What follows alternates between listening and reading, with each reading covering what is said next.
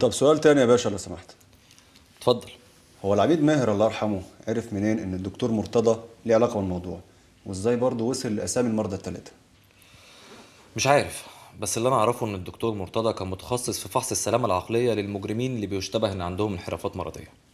وده تخصص نادر قوي فبيتهيألي إن العميد ماهر عرفه من هنا. أو ممكن كمان يكون العميد ماهر شايف إن جرائم زي اللي بيعملها الصياد دي ما يعملهاش غير واحد منحرف نفسيا. فشك إنه ممكن يكون كان بيتعالج عنده في فترة من الفترات وهو بقى عمل التحريات بتاعته. المهم إن كل الكلام ده مش مهم.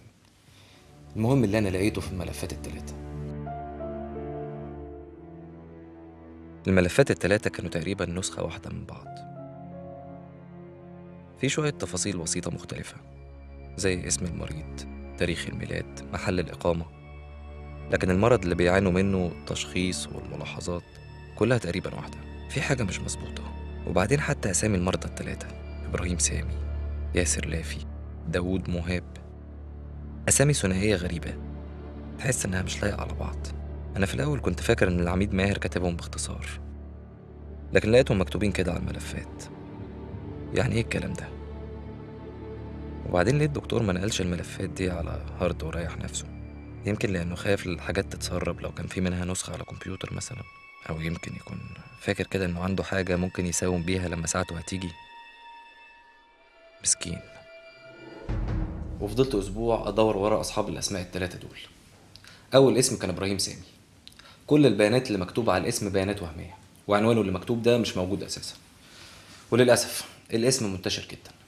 أكتر واحد اشتبهت فيه كان واحد اسمه إبراهيم سامي بيشتغل في البنك اللي جنب عيادة الدكتور مرتضى. رحت له وقعدت واتكلمت معاه واكتشفت إن أنا بضيع وقتي. سيف هي عاصمة جواتيمالا؟ ياسر لافي اسم مش حقيقي وداود مهاب اسم مواطن مصري عايش في النمسا من 35 سنة. يعني إيه الكلام ده؟ ولو كل المعلومات دي غلط كان حريص عليها قوي كده ليه؟ شفت يا سيف القضية دي؟ خير. بلاغ من مجهول شقلب الدنيا. صيدلي مدور مخزنه لتجارة الأدوية المخدرة. مش بس كده. ده الدكتور مرتضى اللي اتقتل يبقى شريك الصيدلي يعني أكيد موته ليه علاقة باللي كان بيعمله. خليكوا كده دوروا في دوائر لغاية ما أعرف الحقيقة. بس هي فين الحقيقة؟ أنا كمان كنت عمال بدور في دوائر. دوامة شكلها مش هتقف قريب. ما تورونا إيه يا عم القواضي الجامدة دي؟ والله هقضيها أنا بقى أحل في الكلمات المتقاطعة.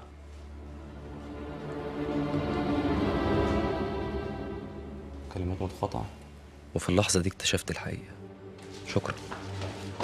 ما قلتليش يا سيف هي إيه عاصمة جواتيمالا؟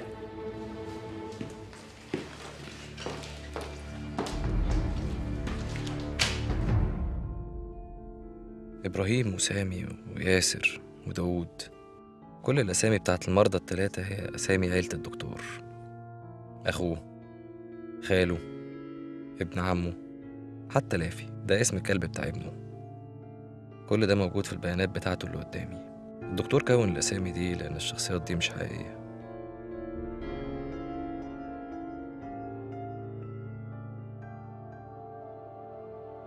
وزي الكلمات المتقاطعة بالظبط عرفت أكون اسم واحد.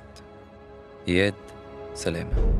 اسم ثنائي برضه بس أنا واثق إن المرة دي ده اسم حقيقي.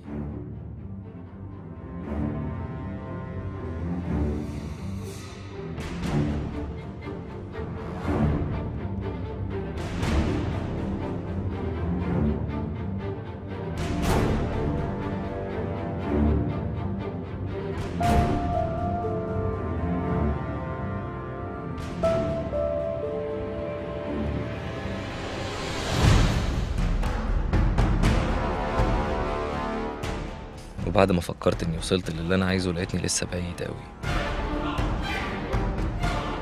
ولا واحد من دول ممكن يبقى الصياد. في الحقيقة يعني إن الصياد لو عرف إني شكيت إنه واحد من دول ممكن يقتلني للسبب ده بس.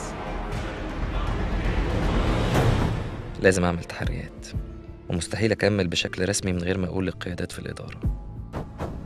وأنا مش هقول لحد لغاية ما أعرف كل حاجة. وعشان أعرف كل حاجة محتاج ألاقي الجلسات اللي الدكتور سجلها لإياد أكيد سجل معاه زي ما سجل معايا. أنا محتاج أوي للأمل ده.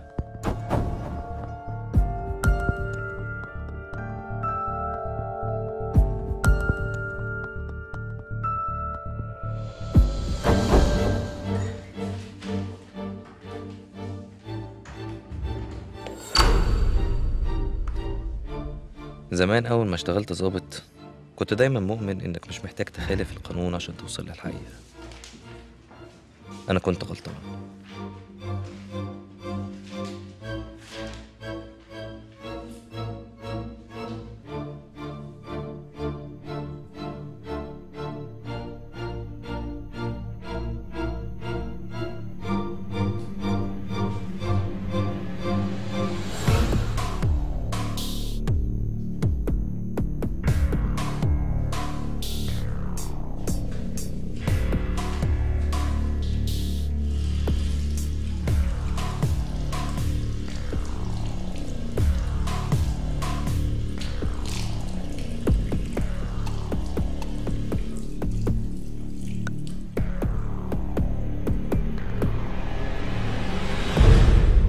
سيادة اللواء فؤاد الطائي كان طلب مني اطلع على بعض الأحراز. حضرتك إيه بالظبط؟ مش عارف كل حاجة هتلاقيها مكتوبة عندك في التقرير. آه دي قضية الدكتور. اتفضل سيادتك. هتلاقي كل حضرتك محتاج له ثلاث رف يمين. بس خلي بالك عشان في حاجات ممكن تتكسر. ما تقلقش.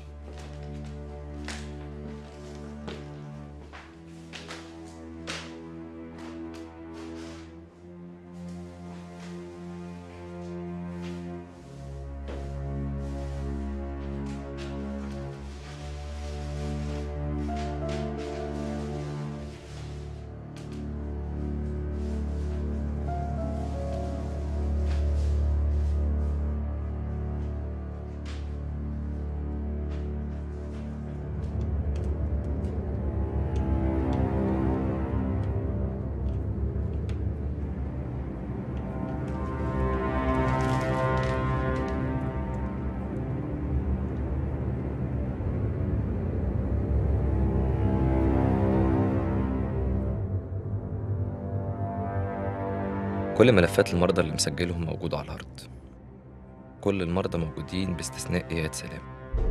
ليه؟ ده معناه إيه؟ لكن لسه في أمل. في ملف ما بيفتحش إلا password ممكن جدا يبقى ده ملف إياد. أنا محتاج واحد بيفهم في الحاجات دي.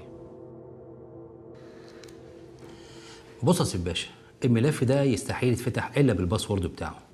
ده واضح إنه عليه بلوى. بقول لك يا مسعد مالكش فيه. دي أسرار شغل وقضية لسه مفتوحة مش عايزين مشاكل. عيب يا باشا. أنا عارف طبعا وعايز أساعدك. بص عادتك الملف ده لو دخلت الباسورد بتاعه غلط ثلاث مرات هيقفل ومش هيفتح تاني خالص. واحتمال هارده كله يقفل كمان. جبت التايه يعني يا مسعد ما أنا جاي لك عشان تتصرف. اعمل أي حاجة. اعمل منه نسخة تانية وخلينا نجرب عليها. تفتكر إني ما فكرتش في كده يعني ده يا باشا؟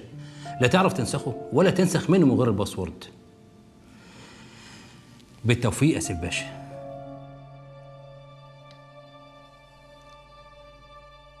يعني مفيش قدامي حل غير إني أجرب. حطيت قدامي كل ملفات القضية وفكرت في كل احتمال. ممكن ال password ده يبقى إيه؟ عنوان العيادة؟ اسم ابنه؟ واحدة كان بيحبها؟ ممكن يبقى الصياد؟ ليه لأ؟ الواضح والمتوقع أحيانا بيبقى آخر حاجة الواحد ممكن يتوقعها.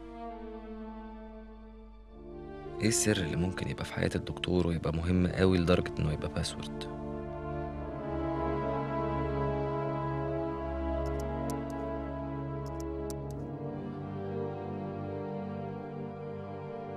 يا رب. إيه اللي ممكن يفتح الملف ده؟ بعد كل التعب اللي تعبته ما كانش عندي أي استعداد ان أرجع لنقطة الصفر تاني. كل تفاصيل حياة الدكتور قريتها. كل الشهادات اللي خدها المشاكل اللي حصلت له كل قرايبه. مفيش فايدة. ثانية واحدة.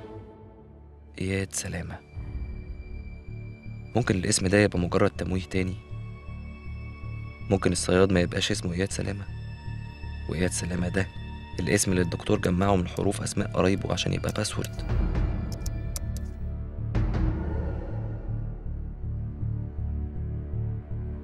أيوة ممكن. شكرا جدا يا دكتور. فتحت الملف. ومعاك فتحت كل الأسرار.